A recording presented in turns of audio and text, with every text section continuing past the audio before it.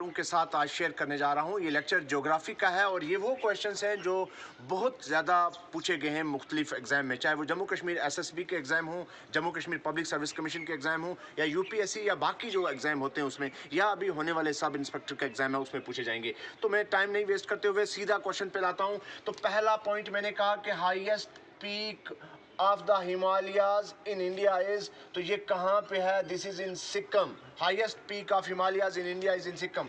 Where, question number two, where exactly Aksai Chin is located? तो ये है north east corner of Jammu and Kashmir. याद रखना Aksai Chin is located north east corner of Jammu and Kashmir.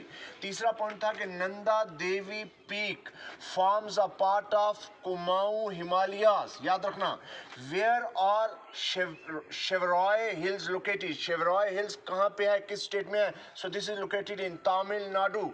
Then the hill range that separates the state of Manipur from the state of Nagaland. वो hill जो कि मणिपुर और नागालैंड को separate करते हैं उस हिल को बोलते हैं Barail hills then the Karakoram highway connects China and Pakistan.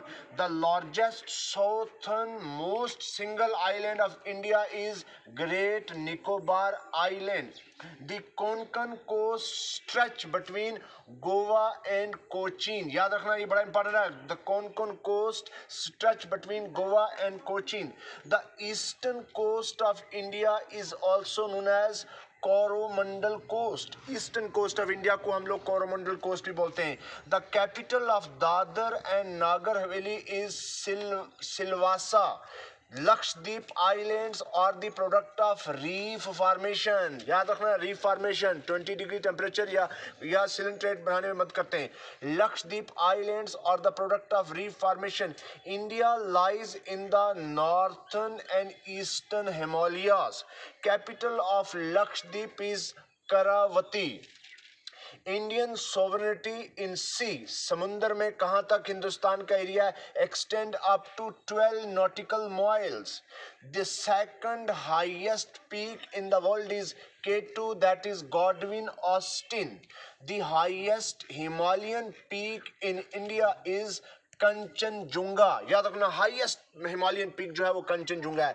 Hindustan कितनी स्टेट्स जो है हिंदुस्तान की वो कोस्ट लाइन शेयर करती हैं? तो this is answer is nine that is the in India how many state shares the coast line that is nine the hill station of Coonoor is located in which state that is Coonoor is located in Kerala The group of languages spoken by the largest number of people in India is Indo-Aryan.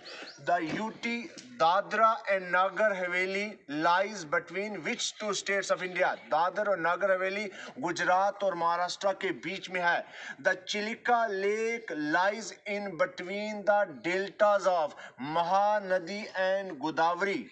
River Damodar is also known as everybody knows Sorrow of Bengal. Why? Because it gets flooded, often causing havoc.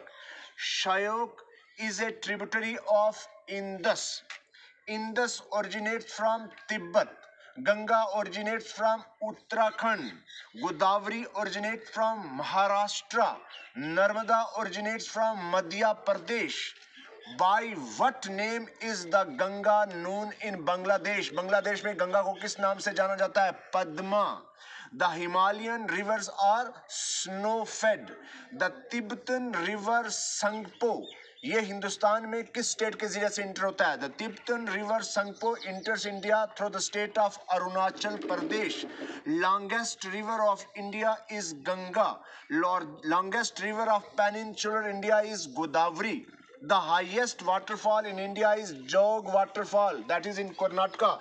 The second the second long, largest river basin in india is godavari the second largest river basin in peninsular India is Krishna Basin. The river Kaveri originates from Karnataka and it flows from Karnataka to Tamil Nadu.